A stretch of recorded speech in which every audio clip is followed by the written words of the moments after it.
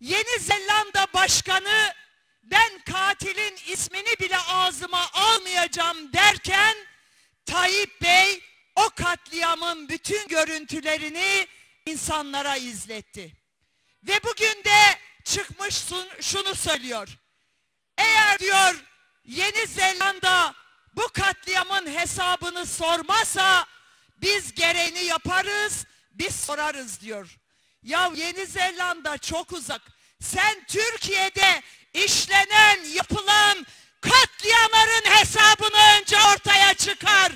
Ankara katliamını Ankara katliamında yüzlerce insan can verdi. Suruç katliamında yüzlerce insan can verdi. İstanbul'da bombalar patladı. İnsanlar can verdi. Diyarbakır mitinginde, HDP mitinginde işit bomba patlattı. İnsanlarımız can verdi. Roboski'de katliam yapıldı. İnsanlarımız can verdi. Henüz, henüz bu katliamların hiçbiri açığa çıkarılmadı. Aksine bunların üstü örtüldü. Yapanlara farklı görevler verildi.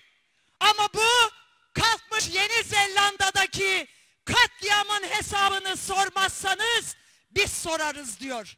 Sen önce kendi ülkende yapılan katliamların hesabını ver, ondan sonra çık istediğin kadar konuş.